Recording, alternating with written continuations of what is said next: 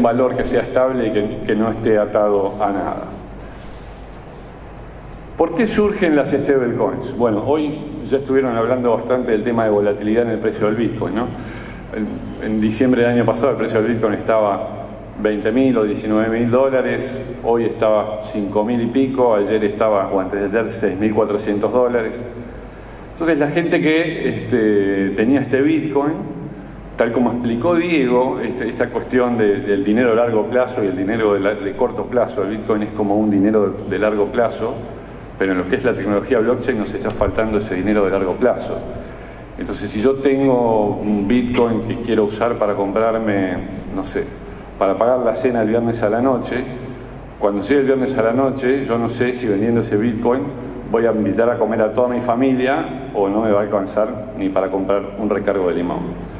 Entonces, ahí es donde aparecen las stablecoins, algo que eh, yo puedo mantener sobre la blockchain y tiene este, un valor estable. Ahora, ustedes me van a decir, pero ¿por qué mantenerlo sobre la blockchain? Bueno, la realidad es que todavía tenemos un, montón de fricciones entre lo que es el mundo tradicional y lo que es el mundo cripto. Si yo tengo un, un, Bitcoin en mi billetera y lo quiero vender y quiero recibir esos pesos, esos dólares en mi cuenta bancaria, capaz que este, esa transacción no va a ser instantánea, va, va, a tener un costo, va a tener un costo de transferencia, va a tener un costo del exchange, va a tener un montón de fricciones en el medio.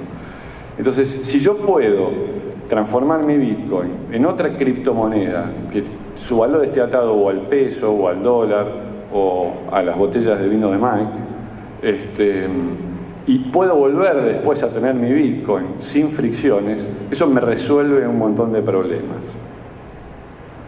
Acá tienen un, un gráfico de volatilidad, donde arriba ven la volatilidad del precio del Bitcoin contra el dólar y abajo en amarillo ven la volatilidad del dólar contra el euro. Como verán, la volatilidad de Bitcoin es tremenda.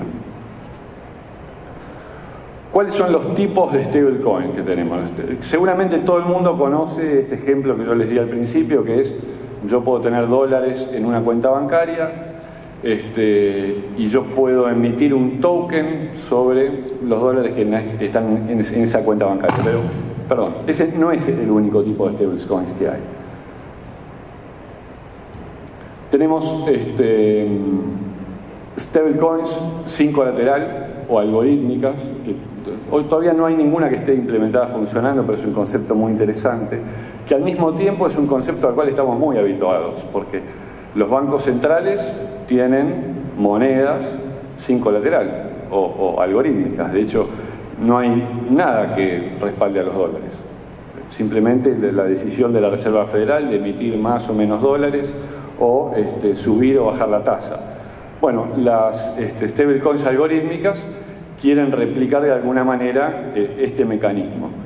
Después tenemos las que tienen colateral en, en criptoactivos o, activos tradicionales, este, perdón, las que tienen colateral en, monedas, este, dólares, pesos o activos tradicionales, como podría ser este, un dólar sobre la blockchain o un peso sobre la blockchain, o las, las botellas de vino de Mike, ¿no? también podrían ser consideradas una stablecoin. Y por último tenemos las monedas que tienen un colateral en cripto, que quiere decir que, por ejemplo, están vacapeadas por el precio del Bitcoin o que están vacapeadas por el, precio de alguna otra criptomoneda. ¿Cuáles son las ventajas y las, ventajas de esta stablecoin?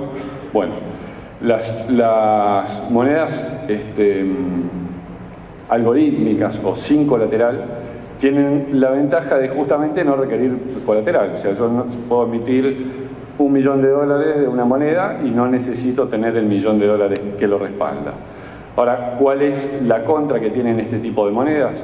Que yo tengo que confiar en ese emisor. O sea, yo tengo que tener este, confianza en que el algoritmo que diseñó este señor está correctamente balanceado y que además esta moneda siempre va a tener una demanda como para que yo me pueda dar vuelta y alguien le dé ese valor que, acordamos que tenía. Ahí está. Por otro lado tenemos las stablecoin con colateral en activos tradicionales, que son las más conocidas, las más difundidas.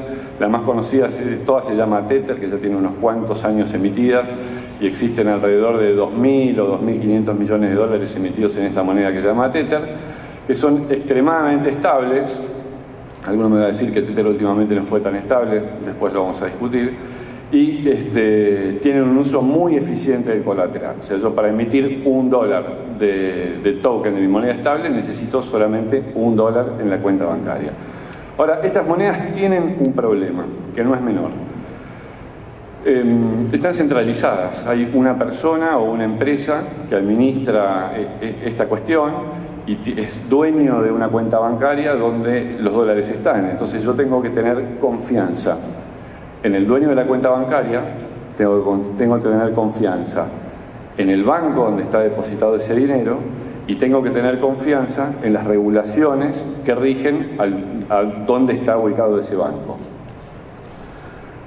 Hoy habrán escuchado un montón de veces que una de las grandes ventajas que tiene el Bitcoin es que yo no requiero de confianza que yo puedo operar con un tercero, con alguien que no conozco, sin tener confianza en nadie más. Entonces, yo me pregunto, si creamos Bitcoin para poder operar sin tener confianza, ¿tiene sentido agregar una capa que necesito confianza? El tercer modelo este, de las stablecoin son las stablecoin con colateral en cripto. Estas stablecoins tienen la confianza que justamente no necesitan confianza. Como les contó Diego hoy, los contratos inteligentes son una especie de policía que aseguran que nadie rompa esas reglas. Bueno, las stablecoins con colateral de cripto tienen la particularidad de que este, pueden estar hechas con un contrato inteligente que asegura que nadie vaya a romper esas reglas. Adicionalmente, de alguna manera, heredan el, efecto de red del colateral que utilizan. Si yo creo una moneda que está colateralizada con Bitcoin, naturalmente la gente que usa Bitcoin le va a caer simpática esta moneda. Si yo uso una moneda que está colateralizada en Ethereum, naturalmente la gente que usa Ethereum le va a caer simpática esta moneda. Las contras que tienen estos modelos tienen un uso un incentivo del colateral. Justamente por la altísima volatilidad que tiene Bitcoin, yo no puedo garantizar un dólar de token con un dólar de, Bitcoin. Porque al minuto que el precio del Bitcoin bajó, ese token se queda sin colateral.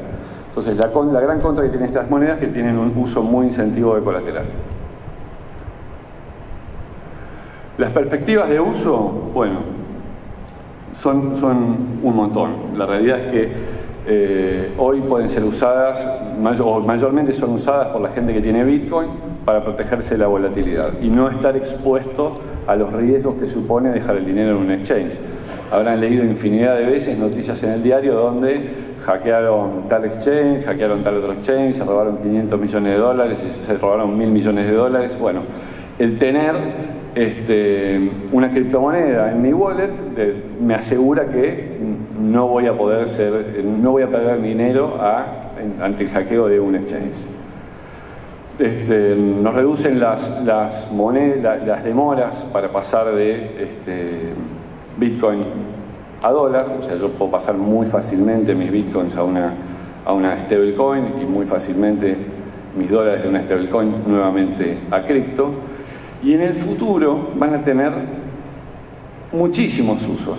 Deberíamos pensar las stablecoin como, un, como una plataforma sobre lo que vamos, donde vamos a construir un montón de cosas. Las stablecoin nos van a permitir construir sistemas de remesas, nos van a poder construir sistemas de crédito. Hoy Diego les hablaba también del tema de la, de la identidad digital. Yo tengo un problema hoy si voy a tomar un, crédito en Bitcoin. Yo sé que el precio del Bitcoin está a 5.400 dólares, pero si yo tomo un crédito en Bitcoins, dentro de un año cuando lo devuelva, voy a tener que devolver 500 dólares o voy a tener que devolver 150 mil dólares. Bueno, las criptomonedas eh, estables de alguna manera nos resuelven esa cuestión, nos resuelven la cuestión de el comercio que quiere aceptar criptomonedas. Hoy si tengo un comercio que acepta, hay comercios que aceptan criptomonedas, pero ¿cómo funcionan? En el medio tienen un operador de pagos que lo que hace es recibe los bitcoins, se da vuelta, los vende y les paga en su cuenta bancaria. Pero otra vez, la gran genialidad que tenía Bitcoin era que no necesitaba intermediarios y que no necesitaba confiar en un tercero. Si voy a poner un procesador de pago para poder recibir Bitcoin, entonces hay algo que, que no está funcionando. Eso es todo. Muchas gracias.